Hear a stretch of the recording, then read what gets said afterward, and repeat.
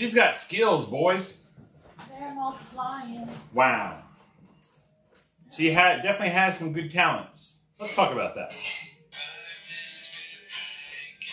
She got talent.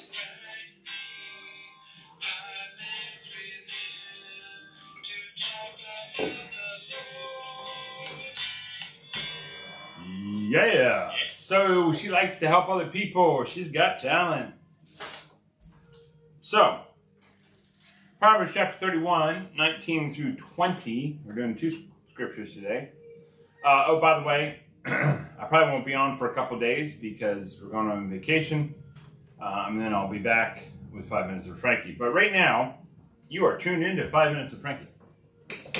Talking about um, Proverbs chapter 31, verse 10 through the end of the chapter. This can go talk about uh, prophecy about the church coming up, or it could talk about actual women who did these things that were honorable in their household and in their place of living. So, some of these words we don't use any. Well, I guess if you're in certain circles, you would use these words. But if you were in like you know spindle class or Spindle you know class. you're you're spinning out clothing from fibers Fiber friends. Right but they don't i don't think they spin do they they might spin No, but Carmen does. oh there you She go has Carmen a does. thing that spins something. so this this thing called di- the distaff the distaff is uh, a tool that holds the unspun fibers okay so when we put that in this context um, in Proverbs 31, 19 through through 20, you understand it. She puts her hands to the distaff and her hands hold the spindle. So she's she's pretty much spinning out wool to make clothing um, to help her family and to help others. I'm not doing that, just saying. Yeah, okay. I don't know how to do that. Uh, she opens her hand to the poor and reaches out her hands to the needy. So not only does she take care of her own family, but uh, she should be, she should, and she does, just through the kindness of her heart, helps other people. And that's a that's a big deal because I think, um, again, if we think of others first, like God tells us to, our problems become less, and our problems. Um, seem less burdensome when we're helping others. Like we're distracted. The holy distraction is serving others. I mean, really. Because if you sit there and you're not serving others or you're not serving God, if you just sit there, you're going to start thinking about yourself. You're going to start thinking about your problems. You're going to go down this spiral. You're going to go down this hill. And you're not, many people don't come back from it and they're depressed all the time and they're just angry and they're bitter but you know what the cure for that is? It's the total opposite. It's joy and serving others. Like people say, well, I, I just, I got to stay in the house and I can't be around people. But the best cure for that is to be around people. Um, well, I feel sad. Well, what's the best cure? Be around people. A lot of times we we start thinking of ourselves. Now, I'm not saying you can't. I'm just saying if if we more concerned about God and about others, then a lot of times we don't focus on all the negative or all the all of our selfish desires. Which I think is sometimes better because if I think of your needs and you think of my needs, all of our needs are met.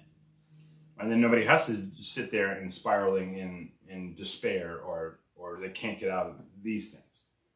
And so people are shocked when when Katie and I help them or you know we want to help them no matter what they did to us. And they're like, why would you do that? Because we're focusing on God and other people more than ourselves. It just works. It, it, for some odd reason, because God is the God of the universe and He tells us to do this, it actually works. Um, so, uh, here's this lady, you know, making good on the things that she's making in her house, not only so much for her family, but in abundance, in, in sacrificial giving, she is helping others.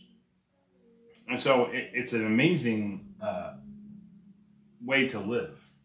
Now, if she was in our culture, she'll probably be like, uh, she just buys this stuff and then she keeps it in her closet and it rots because she's never opened it, still has the tags on it, but she's not giving it away to anybody. I, I know a lot of people like that. Their closets are full, but their heart is empty.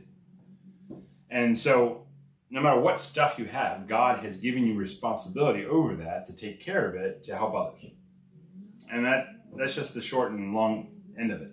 That we should be thinking of others first. And when they think of us first, then everybody's needs are met. And then we don't have to have people without houses or people without food or people without clothes.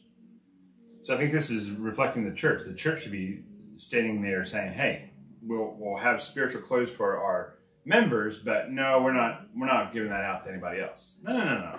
God says, "Don't hoard it in. You need to start sharing the gospel. Start sharing with Jesus. Start sharing uh, the clothes of the kingdom." Um, and how do we do that? We start with the physical. We get permission to actually talk about God. And so we, we feed them, we clothe them, we house them, we go to them. Not them come to us, we go to them and then hang out with them and actually show the love of Christ. So, my encouragement for today is how are you showing the love of Christ? Are you sitting at your spindle and keeping it all to yourself? Or are you sitting at your spindle and saying, oh, I can help others with what I have? I love you. Jesus loves you too. You have a great Thursday, and I'll see you maybe like Tuesday or Wednesday of next week. You're gonna do it tomorrow? Yeah, I'm gonna pack up stuff for our vacation and stuff. So, Okay. but uh, still come Sunday morning at uh, 11 o'clock only. Um, and if you want to hear the sermon or anything, it's on Facebook Live. Um, and uh, I'll see you next week. Love you. Bye. You shave, it looks nice. Thanks. This was long. Yeah. It's good though.